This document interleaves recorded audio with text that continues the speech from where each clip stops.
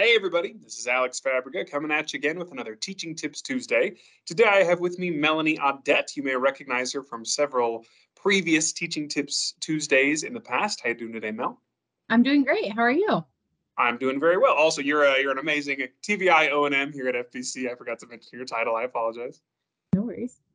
So uh, the first TTT I had you on, we were talking about the Trailblazers trip, wherein we took a bunch of kids down river rafting into Grand Canyon. But there were FBC has done challenge events before that. One of those, the Blind Buccaneers, you attended, and I would love for you to come on and tell us a little bit about that experience. Yeah, definitely. So we went on the Blind Buccaneers trip back in 2018, and it was we've been having these trips with Foundation for Blind Children for many years. The first challenge trip was taking a group of individuals with vision impairments up Mount Kilimanjaro. And so, a couple of challenge events down the way, we decided it was time to teach students how to sail. And we picked the Spanish Virgin Islands and we taught 12 teenagers how to sail three catamaran sized boats. And they were around, uh, I think it was between uh, like 30 to 40 feet long and we circled the Spanish Virgin Islands and we did it in about a seven day trip. And it was exciting, it was challenging, it was just a, a dream of a trip for these students to get to experience. I know profoundly little, maybe even nothing about sailing. How do you how do you just at all prepare for sailing, let alone how do you prepare a group of visually impaired kids to sail? Well, it's pretty interesting. So we taught all of our students how to sail here in Arizona, which many may be surprised. We do have wind and water in Arizona. It's you gotta not, look for it, but it's, it's exactly. It's not just a completely dry desert, but it's not the Caribbean either. So we took our students to a place called Lake Pleasant, and we trained them for um, a couple of months in just how to how to be able to sail. So we were teaching them all of the basics and understanding things like jibing and tacking and understanding the concepts of turning and and what you know degree turns are we going and being able to detect where the wind and where is our point of navigation. And so um, some of the ways you know sailing it's it, it's not something that maybe just somebody picks up. And you know they've always said smooth seas never made a skilled sailor. So we definitely had all kinds of different weather environments that we were able to practice in. It was really hot.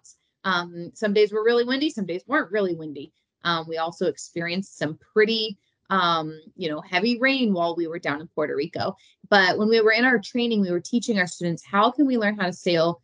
Um, at, how can we learn how to do these things without using our vision? So we gave our students um, just uh, some adapted little devices. So we gave like something as simple as um, a stick with a ribbon on it and then holding it up in the air, you can detect where's the ribbon going, and that's showing you which way is the wind coming from and where is it going, so that you can adjust your position to of the sailboat to the wind, so that when it's hitting the sail, you're understanding how it's being able to propel forward. So just being able to understand. So we started off, you know, we started off with showing the students every part of a sailboat. So we got to go to a sail yard where we were able to feel um, just every single part to be able to understand the mast, you know, the mainsail, um, and understanding stern or bow or, um, you know, I'm trying to think port side and starboard. So we were learning all of those things. I might have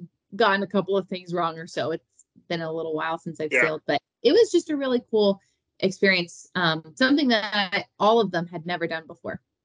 I'm picturing a lot of knots. I don't know if that's outdated, but I'm just thinking you're tying knots left, right, and center.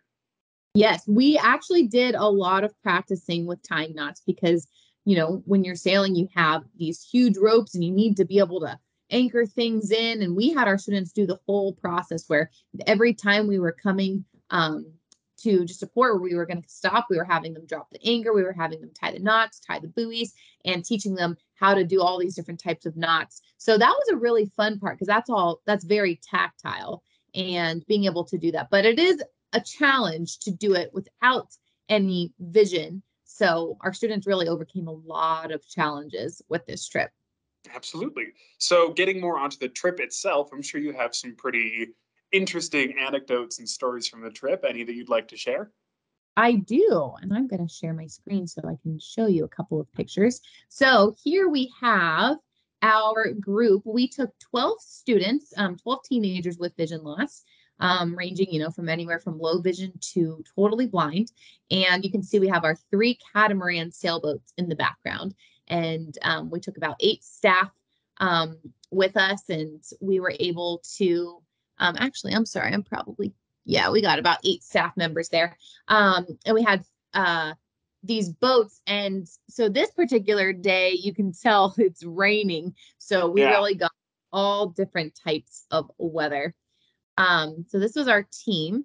And this was a cool story. So one of the challenges we did while we were down in Puerto Rico, um, when we sailed, we had a team come out and um, give us snuba diving lessons. And so our students were able to go scuba diving, which is like scuba diving, except you're not carrying the oxygen tank. It's connected, it's on a floating little uh, buoy on the top.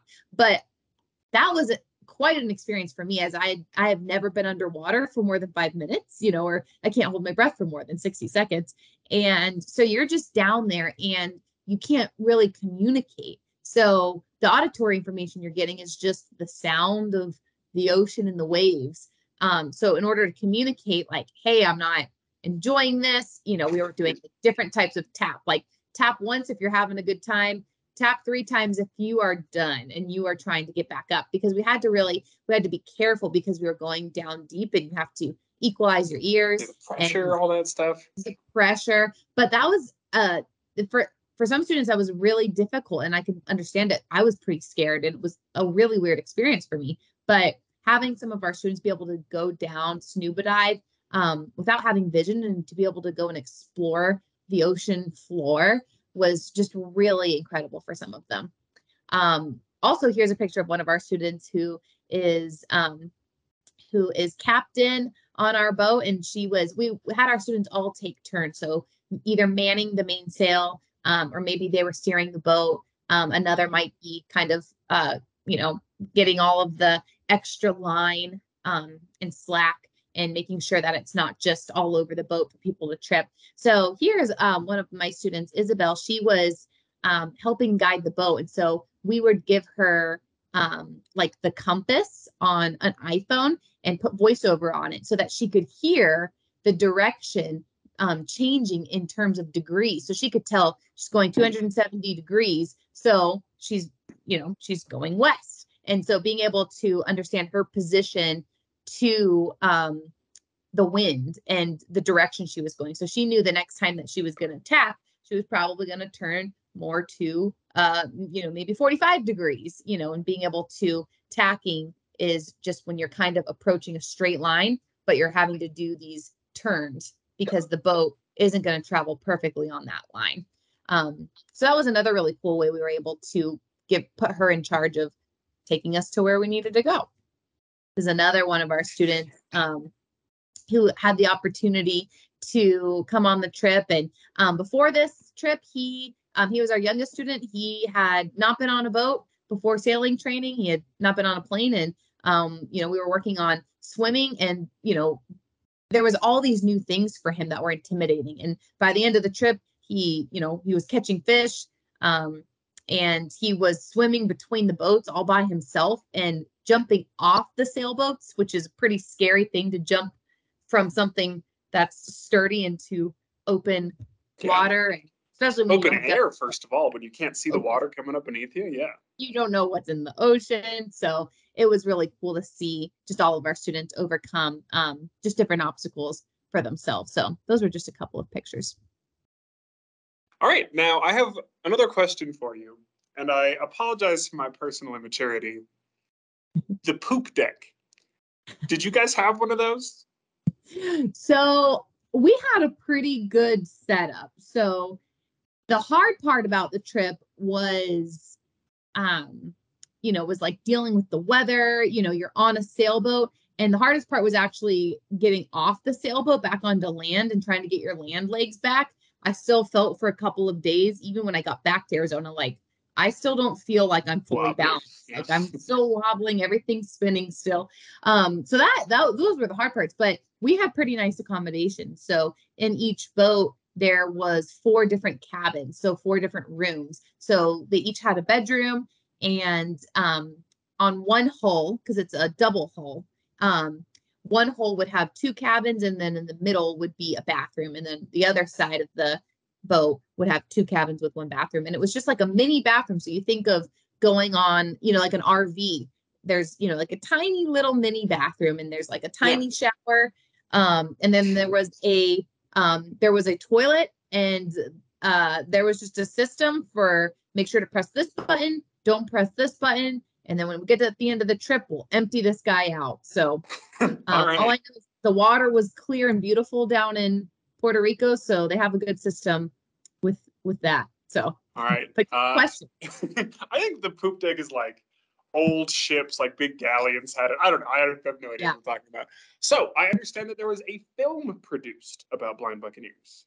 there was, and it um, we had a fourth boat um, that I didn't mention, but they were off um, just kind of following us on the trip and being able to capture footage. It was a uh, a team of videographers and filmmakers, and they heard about the trip and they wanted to come and be able to film it and um, to create a film just about these students and the amazing venture that they were on. So it's called Ocean of Obstacles, and I will be sending you the link so that you can share it with all of our um, viewers and everyone watching so that they can take a look at the trailer.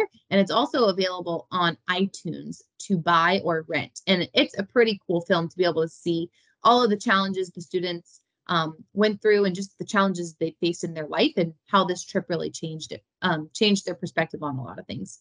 And that link will be in the description of the video below. So I have one more question for you, Mel. You have already answered what your favorite part of your job is numerous times on Teaching Tips Tuesday. So let's drill down a little more into O&M. What is your favorite cane technique?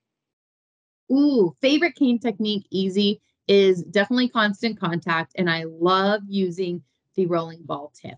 I learned how to, I did my blindfold training with a marshmallow tip that did not roll. And we were taught um, predominantly how to use two point touch.